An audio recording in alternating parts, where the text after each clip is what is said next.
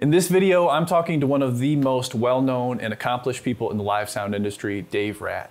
Uh, he's worked with world-class touring bands, including the Red Hot Chili Peppers, for over 25 years. He's the founder of Rat Sound Systems and Sound Tools, in addition to his YouTube channel where I found him, where he offers sound and mixing tips as well as demonstrations that really help to intuitively understand audio concepts.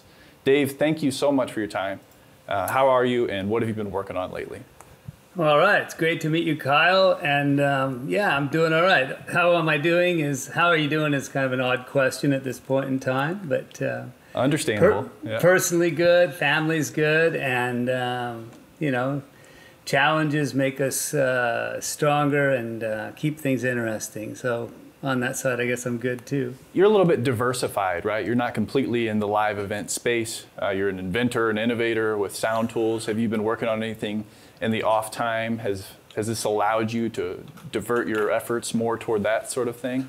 Oh, absolutely. Yeah, the diversification, though it's a small part of the overall picture, it's really, uh, I couldn't be happier that we have, um, yeah, the projects. You know, I'm kind of, hey, squirrel, I start something, I start something else. And uh, the rental industry is definitely under a lot of pressure.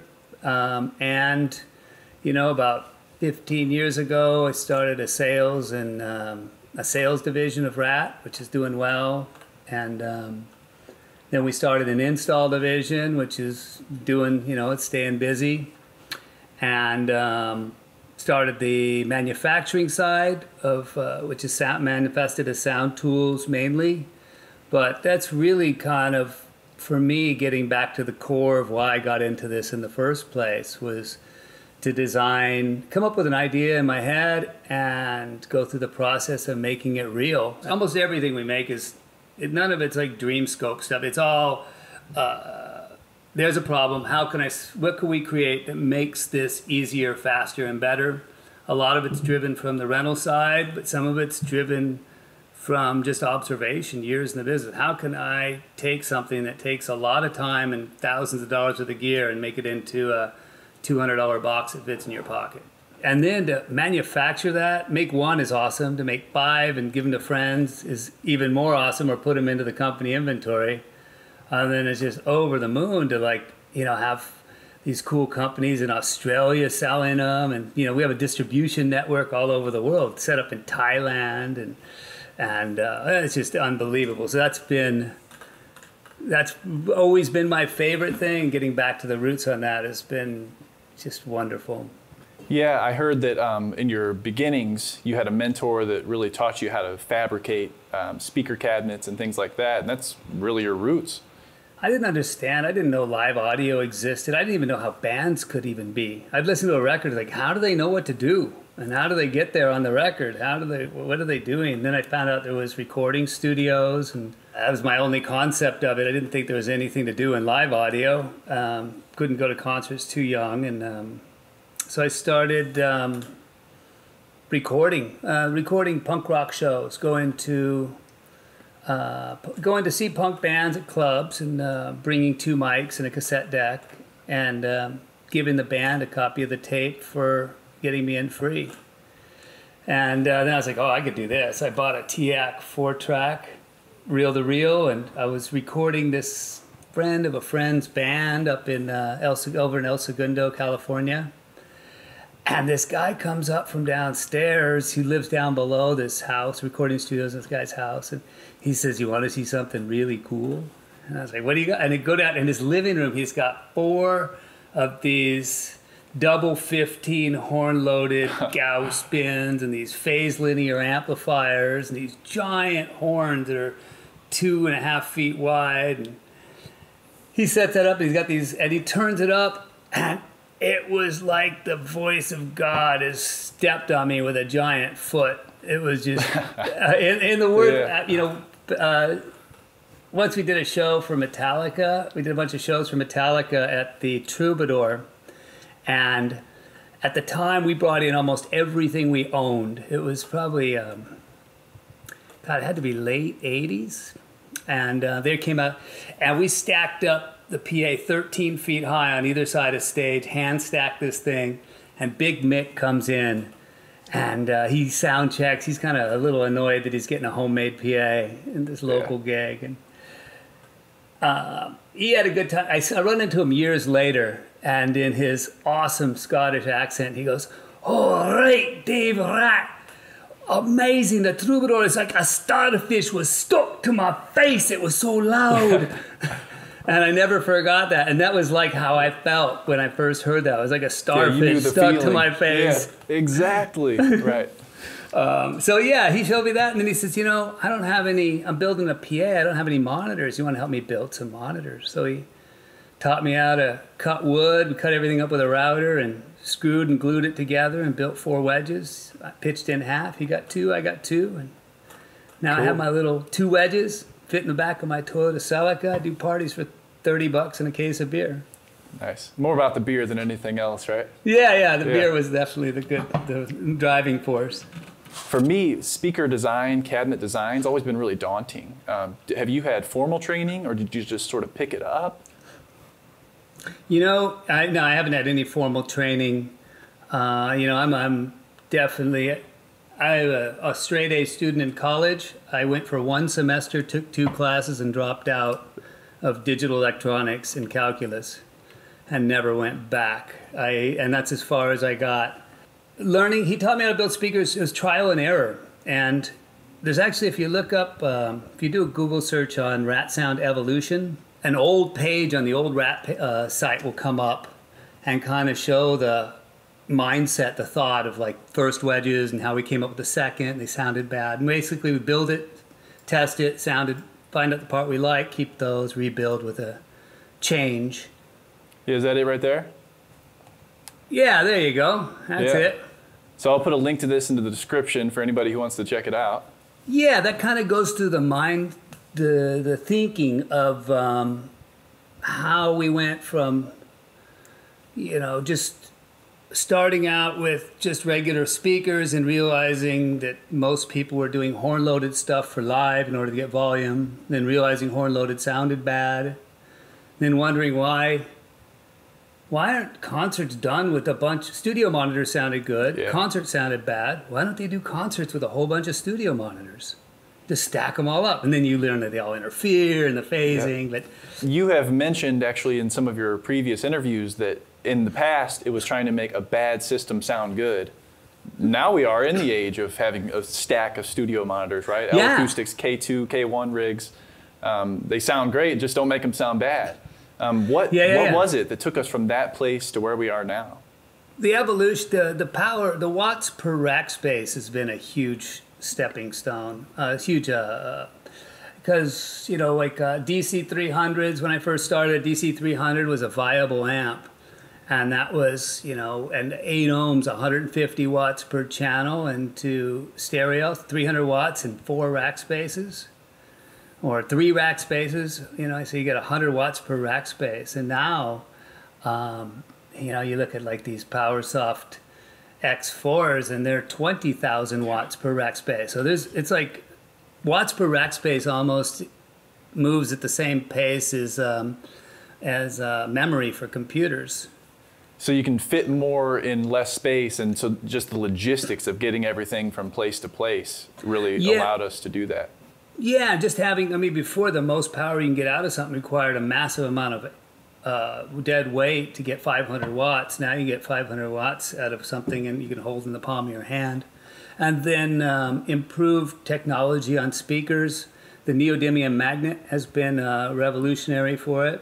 And um, as has the new adhesives that don't catch on fire and bonding technologies to stop voice coils and thermal dissipation and uh, robotic manufacturing to keep voice coils aligned and precision. So there's been a lot of speaker. The speaker cones of today are absolutely amazing. Uh, the mechanics and electro, all of it is um, really allowed uh, a studio monitor type design, which is fairly inefficient with the speaker mounted on the baffle, to get so much more volume out of that and have a good sounding thing get loud. Whereas before we had these smaller amps, lower power speakers, and we'd use big horns to gain efficiency. And the advantage of that is you could get a lot of volume out of not much power and a fairly uh, not a lot of speakers, but you with an acoustic uh, waveguide or acoustic horn, you don't get something for nothing. You never get something for nothing in audio. Um, so as you increase the efficiency, you reduce the bandwidth. So Yeah. if you put a nice big horn on something, it's really loud over a narrow range. And if you don't put a, if you use something that's uh, baffle reflex, then you can get a lower volume over a wider range. I guess to envision it, and I haven't really, I don't know if I've covered this anywhere. To envision the difference between a bass reflex design, we have a speaker exposed to the air versus a horn loaded. You could envision like hanging a sheet in a room, uh, uh, just a sheet supported by the top, um, just dangling there. And if you wanted to uh, create a representation of a studio monitor or a speaker mounted on the baffle, you take your hand and punch it. And that's the amount. And you can imagine, you kind of visualize that. You see a small part of the sheet pushing forward and the rest of it not moving very much, you know, if you just hit it an inch or so. Uh, a horn, you would take a cone, a big paper or cardboard cone, and attach it to your hand and then hit it. And you could see that you could move a lot more of the sheet with the cone than you could with just your hand. On the other hand, if the cone was really big, it'd be hard to move that cone really fast. Yeah, I And see. you'd Yeah. and you wouldn't be able to go pop pop pop pop pop. You'd have to go pop pop, and as it got bigger and heavier, so the cone that would limit your high frequency response, but you'd move more air, um, and you'd lose some of the articulation. So horns kind of act like acoustic transformers. They help the motion get commu- connected to the air better, but the more efficiently you connect it, the narrower the bandwidth. You lose low frequency determined by the size of the mouth of the horn, and you lose high frequency because the it's not amplified the same as the low frequency Very interesting. for that size horn. Yeah, especially the way you explain it. And that's kind of transitions me to your YouTube channel. That's what really, I mean, honestly, you're the inspiration for me starting my YouTube channel. Well, that's With- really cool. Thank you. Definitely. And on my channel, I strive to create these demonstrations. Um, can you talk about that? Is that how you've always seen audio? Do you have a similar passion for it in that way? Yeah, I think not just audio in life. You know, I think it's uh, uh, a double-edged sword. You know, in school, I wasn't. I had a hard time in school. They'd talk about concepts, and unless I could really visualize or understand what they were talking about, if they just kind of said this happens because of this, unless I understood the because of, I couldn't remember it. I couldn't retain it. So I always needed to dig, dig deeper and create a mental image of what's occurring, which caused me to learn very slowly and kind of get frustrated with stuff. On the other hand, that uh, the stuff I did learn, I would learn very well, and I'd build up these building blocks and be able to understand more. And then I'd have to test to see if they were correct. So it helped me stump that in combination with I worked at Hughes Aircraft for a while in the environmental test lab where we were testing military hardware for various environments. And again, I learned to you know test something, check what you intuitively think, and then what happens. Sometimes align, sometimes they don't, but it's wonderful to test it and figure it out. I think I've done a pretty good job of envisioning sound in my head in my head of like uh, picturing um, the way sound interacts and finding parallels in other things in life. You know, like waves in water. You can say when I surf, I can see a south swell come in, I can see a north swell come in, and I can see that they overlap each other, and yet they don't interfere with each other until they're breaking. Um, and sound waves are similar from multiple sources. Yeah, I completely connect with you on that. Um, seeing the things you know about sound and applying that to different things in life. And that's a whole other conversation. Um, but I think that a lot of the people watching right now are, are interested in that. And I want you to talk on, you know, I think that for me, learning every little way to do every um, little task on every piece of equipment is futile, right? Because you're not going to be on that piece of equipment every day unless you have a really cush um, touring gig. Um, but I think learning the basics, understanding how it looks, understanding things intuitively, really allows you to walk up to any situation And do you feel like that's been the case for you in both adapting to situations and making innovative products throughout the years? Absolutely. Yeah, you know, having a um, having those fundamental building blocks. I mean, the one that I'm focusing on now, maybe the next video or one of the videos I'm going to do coming up, has to do with supplying phantom power from front of house and monitor simultaneously.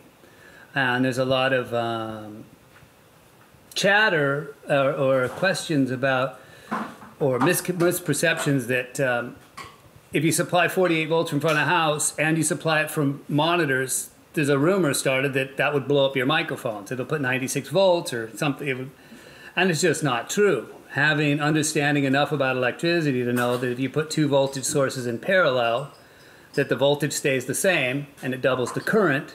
And since the mic is in charge of how much current it draws, it won't hurt the mic. It's just a so backup. I'll set up yeah. a I'll set up a yeah, it's redundancy rather than damage. Um, so being able to have someone say, "Hey, if you put two phantom sources, I never thought of it. Two phantom sources, it'll burn up a mic." It's like, no, it won't. Let me go check it out. No, it doesn't. Here, let me show you this. So we'll, we'll um, uh, having those fundamental building blocks will help you get farther than rote memorization. I feel for everybody in the live sound industry who was relying on a paycheck and now it's gone. But I also feel for the people who just graduated from school or just it's about time for them to get an internship at a live sound house and there aren't any, right? Um, right now might be a good time for those people to start putting the real world experience on hold, but starting to sharpen those understandings of how sound works. How can they do that? How can somebody who wants to be successful in live sound start when live sound is at a standstill right now? Um, you know, that's a great question and um, something that um, new everyone faces in the industry right now. First of all, there's a lot of audio jobs available radio, podcast, audio, um, anything having to do with uh, meetings. I mean, there's a tremendous amount of non live reinforcement audio uh, opportunity out there. In addition, this is the time to go to school. This is like all the live industry people are forced to go to audio college. Not forced to, we have the opportunity to go to all audio colleges and create those audio colleges through YouTube and podcasts and reading and Google searches or whatever it takes to bump up our skill set and expand it. And, you know, maybe someone that's just a live engineer up to now will master Pro Tools or master video editing. And knowing video editing is useful because then you know what they're looking for for audio. With any challenge, there's an opportunity. And I think the people that are going to be most successful in whatever they do are the ones that focus on the opportunity rather than the detriments of the challenge. Yeah, if you see it as exciting, then then it'll probably work out for you. Let's take Dave Rat, the owner of or the founder of Rat Sound Systems. What kind of experience would you respect seeing for new guys entering as entry level employees for your company? That's a great question, and that's been like many things something that's morphed over time. You know, it's a developing uh, perception or developing um, idea for us and it used to be, you know, as someone who started the company, was looking for other people that had these vast skill sets, somebody who could load a truck and wire the boxes and wire the racks and mix the show and trying to look for these Swiss Army knife humans. Um, and over time, just through experience and logic, kind of learned that those people tend to be that there's a specialist you know, when you first work a club, you're you go in, you set up the monitors, you set up the mics, you go up front, you dial in the wedges, you dial in the house, you're stage manager, front of house, monitor engineer, and stage tech all in one. Maybe you do lights on the side. Each of those tasks on the upper levels is turned not only into a separate human, but then it turns into a whole department and a whole truck. So every small task expands out. Um, that's awesome. Uh, you know, and then that can you know, then like looking like the space shuttle. No one human could actually build the space shuttle. It's a whole department of every one person. Just the magnitude of that is fascinating.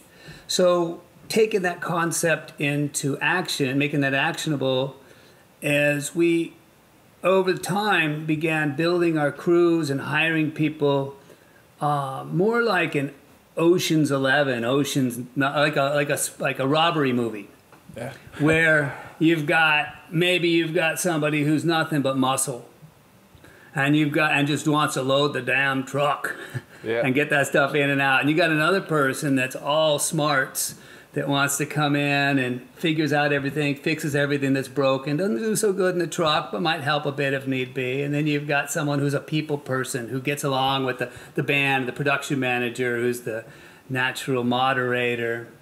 Um, and, you know, so trying to put these crews together that have a diverse skill set but a little bit of knowledge everywhere else. And that's where this opportunity comes. We can still have our dreams and desires of what we want to master, but having these foundational skill sets everywhere else. So you do want to be a bit of a Swiss Army knife, but you also can really specialize as well.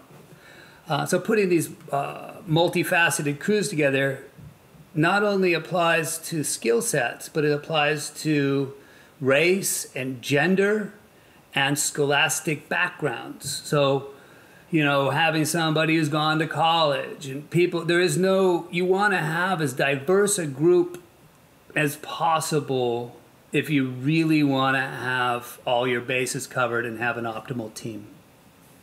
Yeah, and it's it. Whereas before, like you said, it'd be like four guys trying to do the whole operation. Um, now it's maybe four guys in the audio department and four more in the lighting department.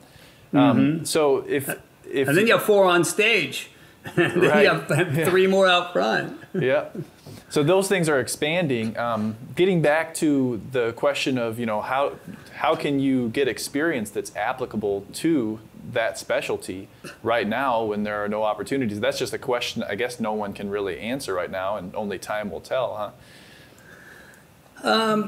Yeah, how can you get those skills? I think that um, a lot of stuff, like doing YouTube videos, doing these tests and these demos. Uh, another demo that I'm going to do coming up that I have on the slate that I haven't figured out how to do quite yet, but I've got a good idea is a desktop subarray demo where I'm actually going to set up tiny little subwoofers and show the cardioid pattern and the, and have two multiple mics say this is what cardioid and this is where the cancellation is this is what end fire works this is dispersion differences and see if I can translate that from a desktop um, and carry over some of the stuff that I've learned on the larger scale. Yeah. Um, I think taking that same concept now, there's no reason, or switching to another version of that.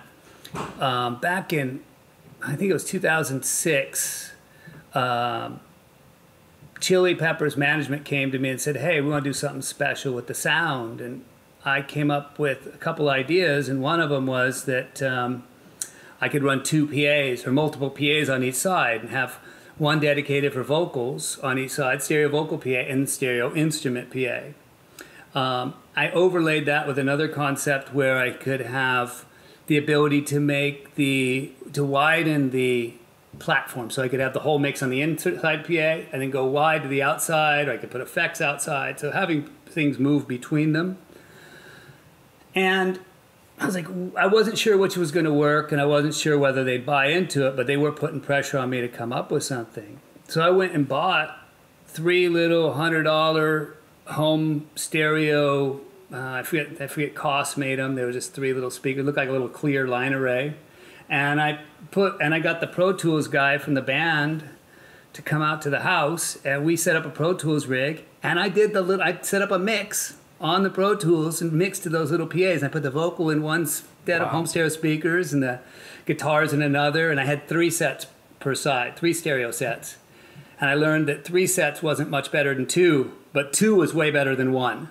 And that's how you sold the concept of the double hung PA in the beginning, I, then, huh? I got all ready to do it. I was like, okay, this works. And not only that, I figured out and I checked IM distortion issues, and I was able to replicate a lot of the concepts in my living room. So then I packed this thing all up, put in a suitcase, called the manager and said, okay, I'm flying out to New York. I'm to demo it. And he said, nah, nah, nah, whatever you want to do is fine. So I never got to demo the rig, but I was able to show the concept, not unlike what I did with the pink noise generators in a living room setting. So I think just because we don't have giant hardware at our disposal, we can download almost any digital console into our laptop. We can, there's inexpensive mixing software. We can get small PAs. We can download. We can get, we have access to different mixes. It's not that hard to download. There's plenty of freeware, multi track freeware. We can practice mixing. We can practice using compressors and uh, doing that on headphones and small PAs and looking at phase problems. So, and I also try and do all my videos that way. I do almost, I try and do everything that with equipment that can be bought off eBay for under $500 or under $1,000, which may be a lot of money to some, but some of it can be scaled down. I use old, easily accessible gear to do all the demos so they can all be repeated. And that's a good point because honestly, if you're just starting out, you're not going to be behind the mixing console with a line array, you know, and, and a sub array that's all top of the line. Um, sit, spend your time practicing in your living room. Hey, right now you're always in your living room, so mm-hmm. sound apply the the laws of sound apply just as much in your living room as they do at that festival stage. And so, yeah, yeah I mean that's a great point. And scaling up, just knowing that if you have a cancellation, if you take a small speaker and you hang it from a string from your ceiling two feet off the ground, and you get your Smaart out and you see that you have a reflection happening at 800 or 1200 800 cycles and you get big cancellations well if it's 20 feet off the ground that's going to be an 80 cycle issue. You can scale that stuff up and scale it down uh, distance versus frequency. It's it is somewhat linear. Uh, so learning the math there, you can actually build miniature things that work. That's really cool. Yeah, I'm excited to see um, on your YouTube channel. You've sort of teased that you've been 3D printing little tiny micro wedges. You just mentioned that you've got the subwoofers. Um, really check out Dave's YouTube channel. It's really cool. He even sets up uh, little audiences and, and puts a little mic at you know mix position, and it's all in the vicinity of his desktop, and he really makes these points obvious. So you do a great job of that stuff. Well, thank you. Yeah, people should go out and replicate it. Go try it. Don't just believe me. I, I pretty much I'm showing you not the way to do things. I'm showing you examples of things that function. But you know, you can set this stuff up and do it yourself, and find flaws to what I'm doing, or additions to it, or just get a good mental grasp of what's going on. You've seen hundreds, thousands of front of house engineers, of system techs, from probably the beginning of their career to the middle of their career. Um, yeah. What are some of the most common mistakes those people are making? What are some of the indicators of success that you see in those people? The early mistakes, the early uh, stumbling blocks that some engineers never escape from is almost identical to the stumbling blocks that some people never escape from um, of someone learning to drive a car. And you don't necessarily need to escape from them. But when someone, you know, that is excited about driving, um, really into cars, when they get their first car, you're riding with the 16 year old dude. Every screen light is the beginning of the race. Yeah.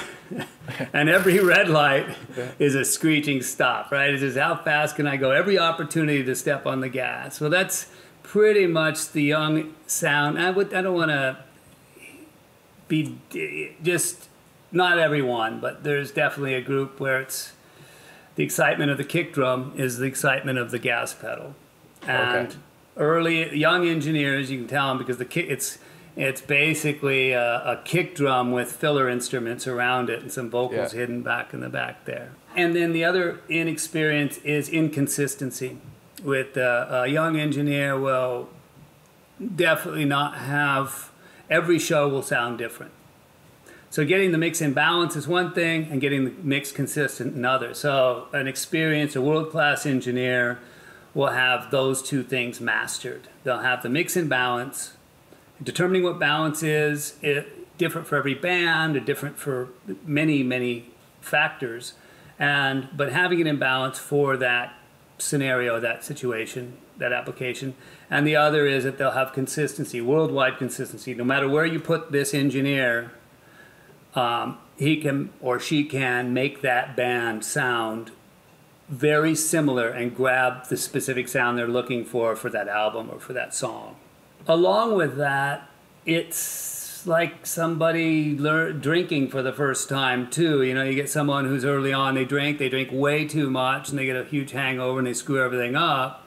That's like a you know again young, inexperienced, and maybe the experienced engineer is like or the experience yeah experienced sound human is um, it's okay. That kick drum power may be there in the system, and that bass energy and that volume may be there, but they don't have to have it turned on all the time in your face. They might give you a little taste of it right at the beginning of the show, and then the song, a certain song might come in. They give you another taste of something else, and then later on in the show, they give you a bit more, and then for the encore, they give it all to you. So you got this build up. It's like a good book where you you lay the stage and then you build it up to a, a crescendo or a culmination. Um, having that patience and that foresight to look through the entire show and build a volume strategy, a frequency strategy, um, and anticipation. Being able to do that with respect to sound limits, with respect to the age of the audience, the type of artist that you're working for, the desires of the management, the desires of the band, and your personal preference triangulating all that into a consistent mix. That's where the real experience is. Yeah.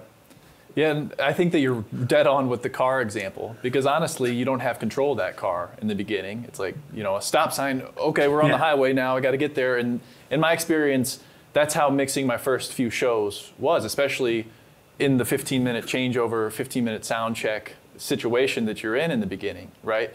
Um, you're just trying to put fires out, essentially. Like, what is that something feeding back? You know, that, that bass sounds terrible. And so you're not really thinking long term through the set. You're just thinking, right now, I've got to get this to sound okay. Over time, Right, right. you can get it to sound okay. Not only that, but you can plan ahead and hold something back. You don't have to make it as Yeah. good as you can right now.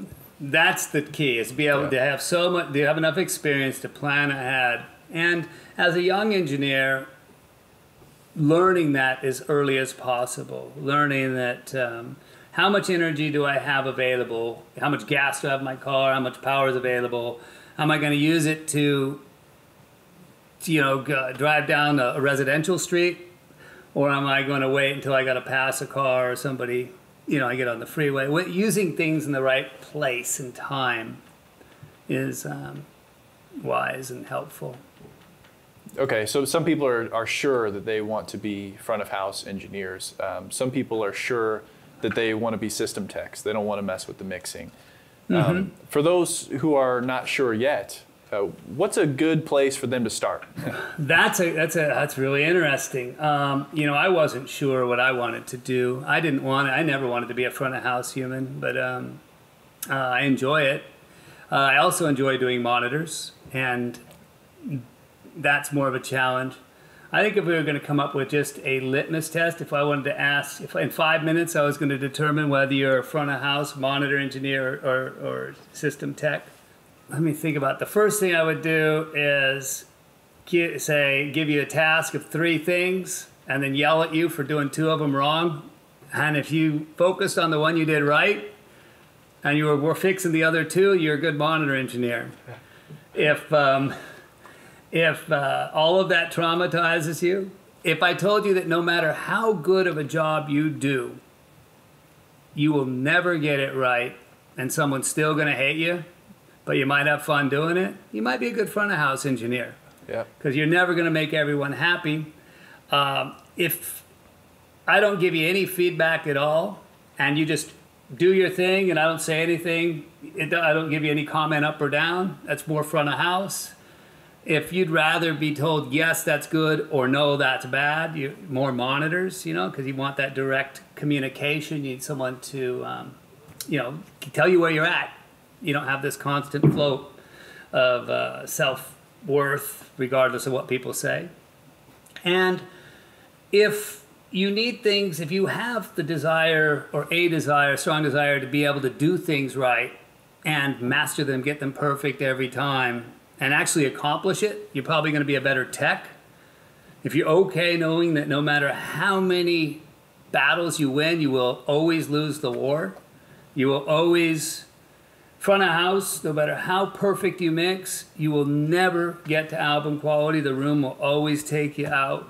There's always something wrong. Whereas you can wire a stage perfectly. You can have every channel working. You can have everything in the right spot and functioning. And you've done your job. If the room sucks, that's not your problem. You can tune it as best you can, but that's not, you can slough that on someone else. The front of house engineer has to do the best with something that's unsolvable. They can only be dealt with pretty well. And a monitor engineer has just got that much more dynamic thing where you can have a shit show or a great show and not necessarily in control, but very personality re- related. So I think those dynamics, I didn't necessarily explain it as clearly, and I'll put more thought into it, but No, I, I think it made sense. Yeah, it's, Yeah, it's how are those- you satisfied by your work, right? yeah, what, what, what are you looking for as far as satisfaction? Do you need a, hey, you did it perfect, nailed it.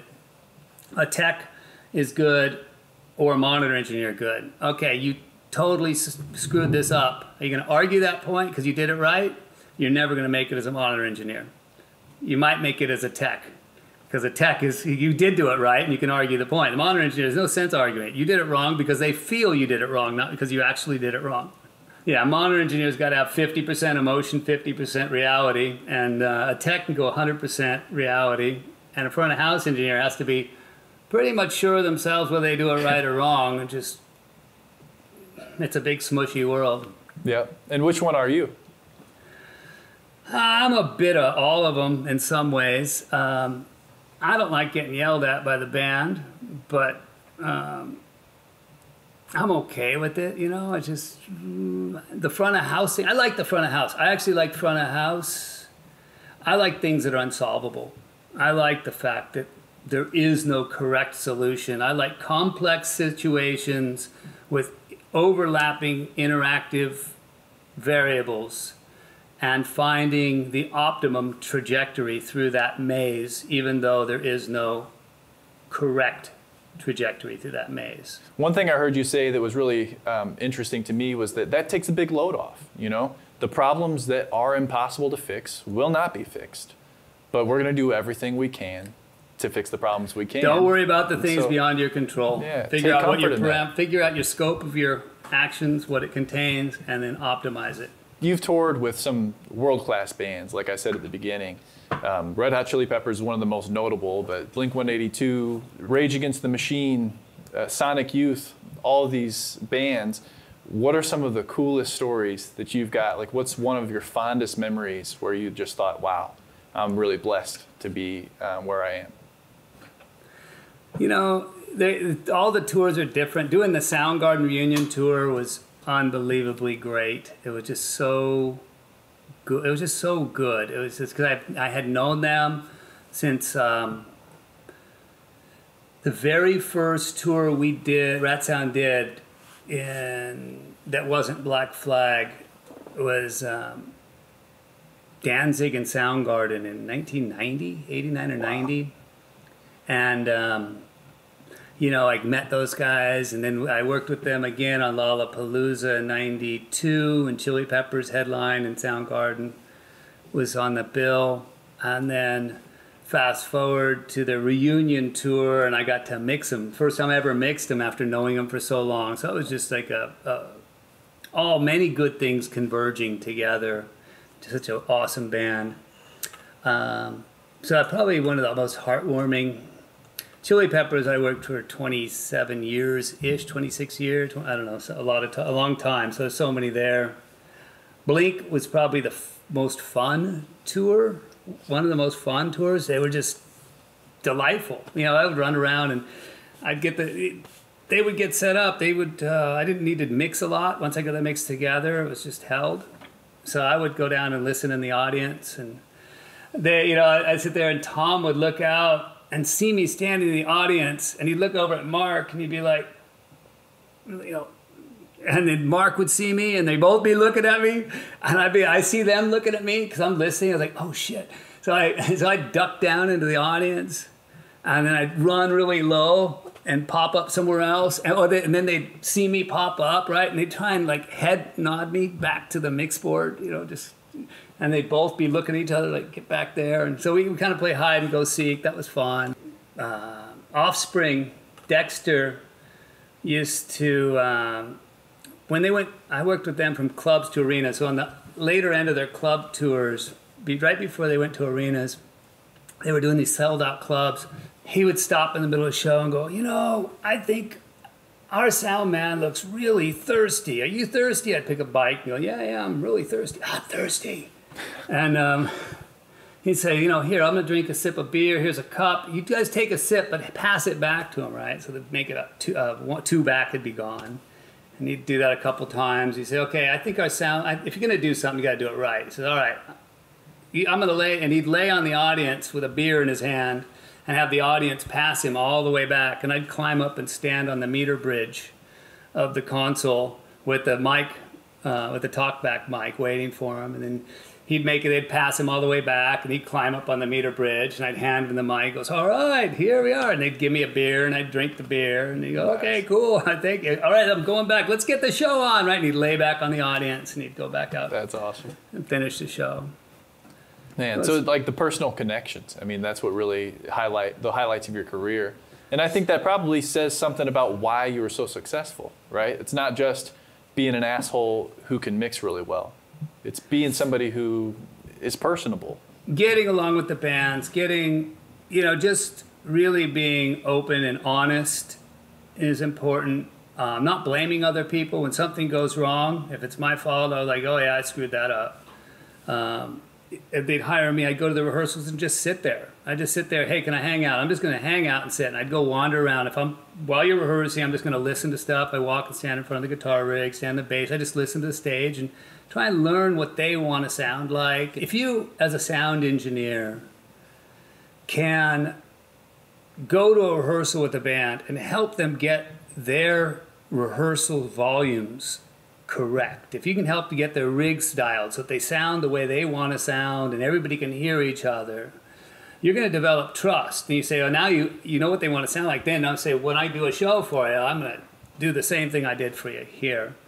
And some of the foundations of that is like standing in the middle, what they go the standard four piece rock band, standing in where the singer would stand if they do stand in the middle, and getting the bass to be the same volume or similar volume to the guitar, similar volume to the drums. If somebody's overly loud, um, not guitar and bass rigs aren't like mixing boards where if the guitar is too loud, you just turn it down. You turn down the guitar, all of a sudden it feeds back properly to the song. There's all kinds of other dynamics. We don't. I choose not to mess with that. With Soundgarden, I just I asked. I said, well I went to rehearsals and they played and I wandered around and uh, Chris was like, you know, I can't hear my vocal. I, everything's too loud. I said, okay. And I went to um, Kim. I said, uh, can we move? Um, is it okay? He goes, what's wrong? You want me to turn down? I said, no. I just, I want to point your guitar rig out a little bit just so it doesn't point to the center. I want you to keep your volume. I don't want to mess with what you're doing. And I went to Ben. I said, okay, I want to move your bass rig. He's like, turn down. I said, no, just want to move your bass rig out. And I got with the, I said, okay. And I just kept, I just moved stuff physically until I got the sound balanced in the middle of the stage. And it looked all wonky. Said, what are we to do a show? I said, don't worry about that. Right now, we're just getting your sound balance. We're getting everybody happy. You guys are getting your tones together. We're getting everybody happy. And also, you know, a reunion, you got to get these guys. I got to make sure I don't create any new conflicts. They're healing themselves already. Um, at some point, farther in rehearsals, you know, Ben came up to me and said, "Hey, if I turn down, can I move my bass rate closer?" Yeah, of course you can, but don't mess your sound up. I need you to have your sound so you're comfortable on stage. You play well, I'll do well. And they kind of acclimated, and then they started wandering to the center of stage and listening to their rig versus the other rigs. And the tech started doing that too, and everybody started getting on the same page. They had a reference point to shoot for. Um, that not only made my job easier mixing them live, but it helps with building trust and a bond with the band and that they understand that we're all on the same page. You're not just going to crank their, you don't disregard their music by turning down their rigs, yet you're paying attention to everybody and finding that personal dynamic, and you know, getting a job. If you're a sound engineer that's trying to work your way up in the industry, and there's a band down the street or somebody rehearsing, you know, it's like, can I hang out? Can I help you with sound? Can I tune things? Can I help you? Can I fix the cables? Can I solder? You give where are your bad cables? Fix all the bad cables. Where? Make sure all the rigs are in polarity. I don't know. Figure that all out. And um, working gigs for free, working gigs for cheap, hauling paint, whatever it is, helping transition that rehearsal sound into the live environment. So when they're on stage, they know that the audience is hearing the image they wish to present is a valuable asset and they're going to want you around. And if they want you around, that's kind of your path to success. Wow. Really well said. Dave, thank you so much. I'm glad I reached out and I'm glad that you were willing to do this. So thank you. Well, my pleasure and my honor. It's all good. Yeah. And um, yeah, um, it's great you're doing this, sharing knowledge, and the, you know, just uh, it's what we need. Everybody needs to kind of get together and share ideas, to bump it up a notch. Well, I appreciate what you're doing. I'll continue sending people your way, and um, I hope to see more coming out of your YouTube channel and your other projects. All right, Kyle, great to meet you. And hello, everyone. Rock it up.